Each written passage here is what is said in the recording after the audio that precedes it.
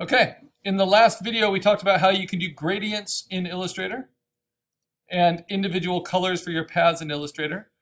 And so it stands to reason that if you can do that, you can also uh, do your own drop shadow within Illustrator, right?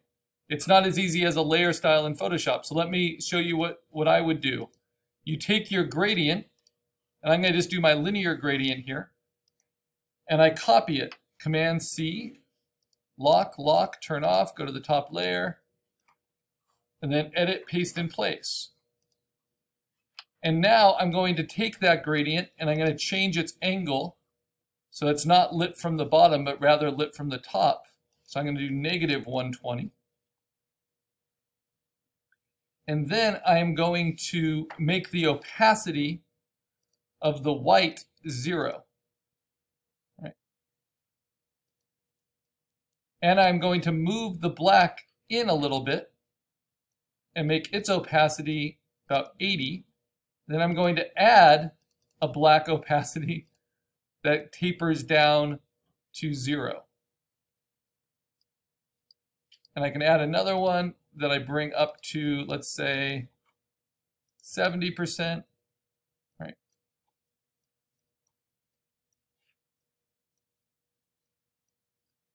And I can figure out exactly the effect I want.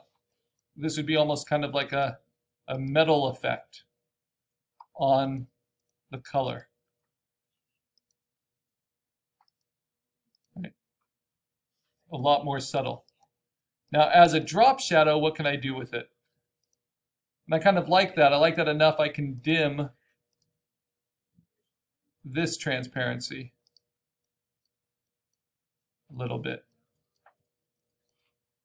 So just everything feels customized, right? Okay, but now what I what can I do with that shadow? That gradient? Well, I can also move it underneath. So I'm going to copy it make a new layer, like I've been doing, edit, paste in place, but now move it underneath my other layers, and then use the large selection tool and push and pull it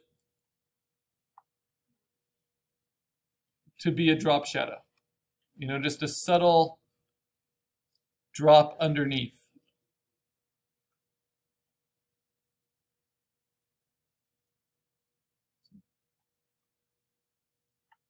Now there are dangers to building in a drop shadow to your EPS file. That means it's just always there. So I actually prefer to, to always do it within um, Photoshop as a layer style because little things like this happen that you would have to fix. Like I'd have to take this point because it's a little weird and then line it back up so it feels like a shadow instead of just as a cutout. And I'd have to find that in all places.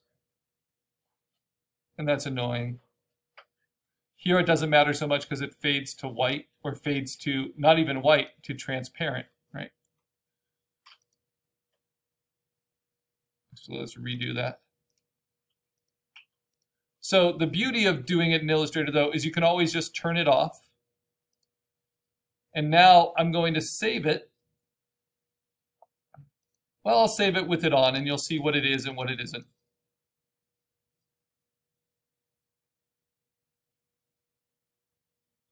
And then of course I can turn off individual ones here as well. So only keep the drop shadows I think are useful.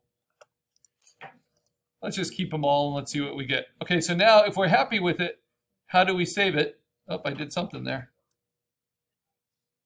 Move that back. Huh.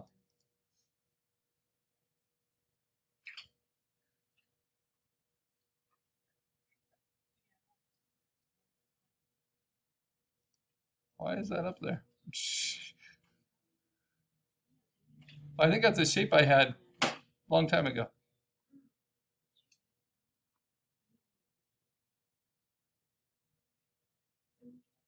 Yeah, I'll just, okay.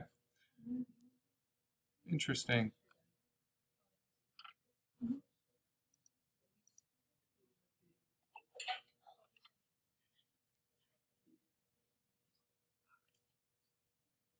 Huh.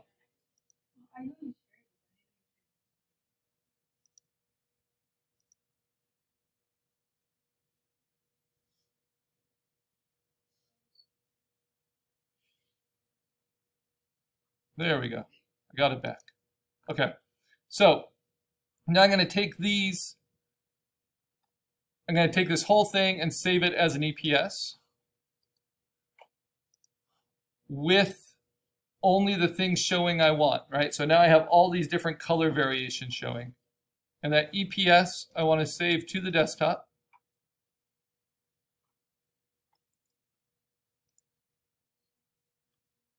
I'm going to keep all the defaults, right?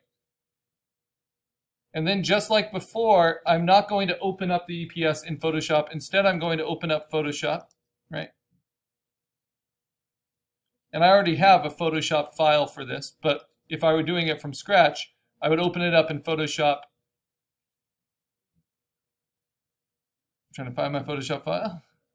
There it is and I would um, open it up to be 8 by 10 inches by 350 pixels per inch. And I would drag my EPS in as a smart object, and I would size it and keep it as a vector. But I already have a file where I've done that. Now I'm just going to add my, my Illustrator colored version in. And it will give me a lot of options.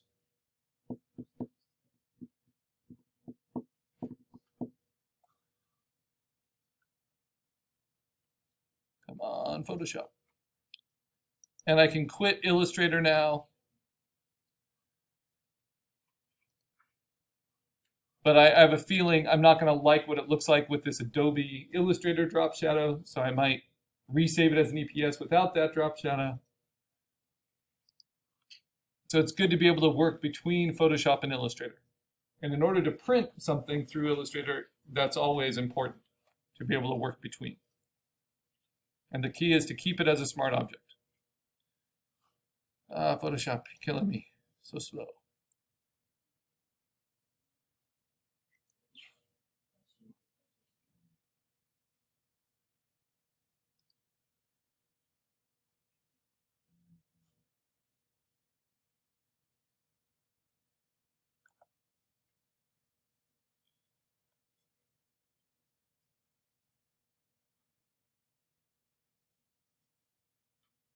All right, it's opening up. So here we have already the Photoshop file that is 8 by 10 inches at 350 pixels per inch. It is portrait format because my logo is taller than it is wide. And I already have uh, my color solutions and my offset solutions all as layer styles, right? And I have them on different backgrounds. So on white, they look like that. And then with color, it looks like that. And then on black, it looks like that, still shows up. On gray, it looks like that, still shows up. And I can play with different types of offsets, different types of effects. So now I'm going to bring in my new one. I need to size it to match.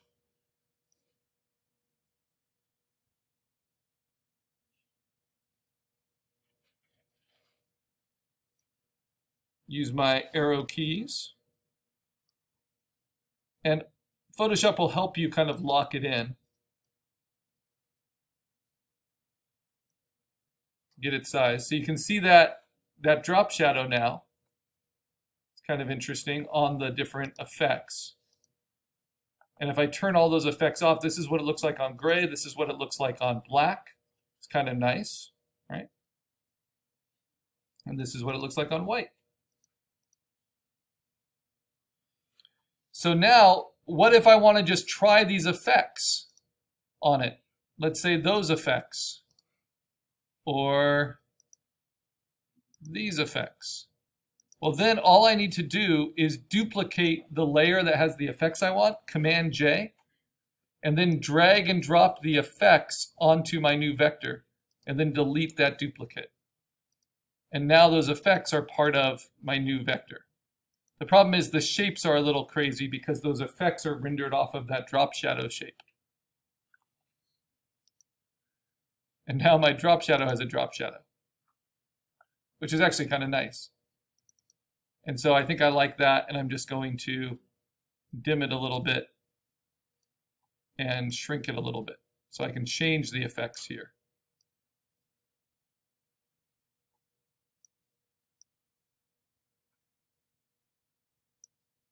And then in terms of the stroke, let's change that. So it's not so bold Let's take it way down. Looks cleaner, more sophisticated.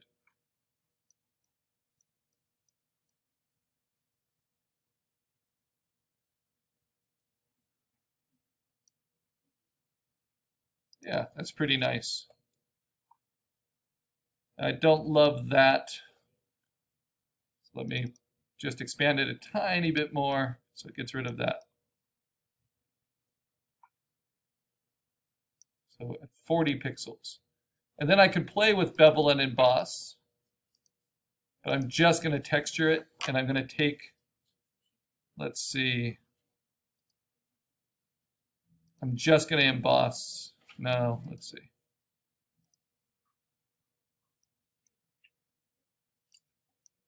Yeah, I don't know that I want it at all. There we go. Soften it a whole lot.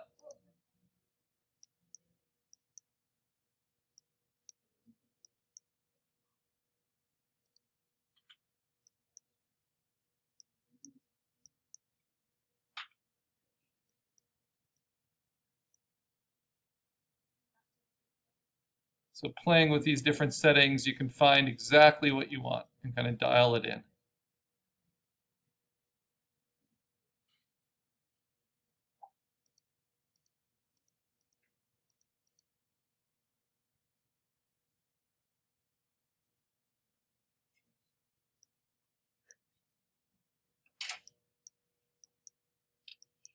Oh, but you see, I don't like that there. So there's always little things that you might decide you want or don't want.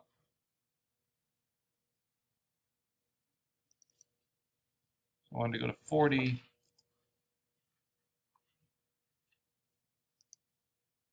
I want a texture. Then take that way down. soften it. Okay, yeah, I'm happy with that. And so now you check it and make sure it looks good on all the backgrounds. Right. It's hard because on black, I like it without the stroke. But I need that stroke for the others. And on white, it doesn't matter so much to have it. But I might decide the best print is like this.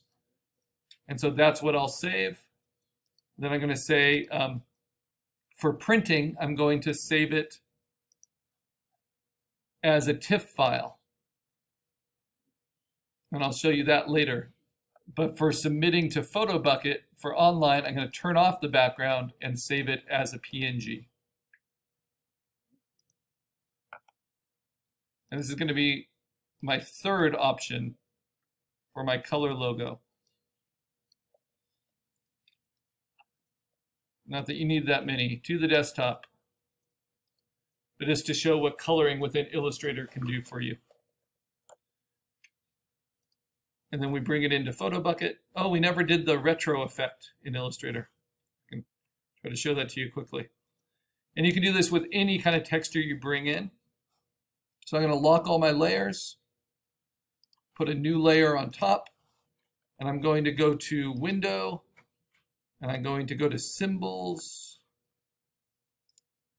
and I'm going to go to the library and artistic textures, and I'm going to go to charcoal, right?